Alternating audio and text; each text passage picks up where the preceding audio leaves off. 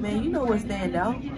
Her ability to shoot from anywhere on the floor, right whether it's at, at half court.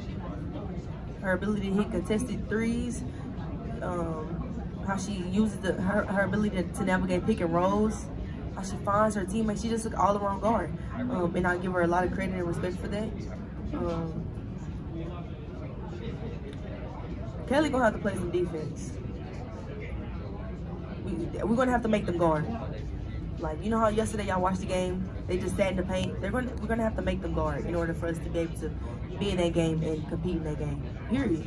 This is point blank. Period. I'm an honest person. Um, just their togetherness, how they share the ball. Uh, um, it's beautiful basketball to watch. Pick and roll situations. The shooter, they crashing the rebounds. I seen that last night against South Carolina as well. That was their game plan, but just how they play together. Their shooting ability, um, how they run in transition. I think that um, it's going to be a challenge to get out, but we've been playing against teams that fan out and stuff like that.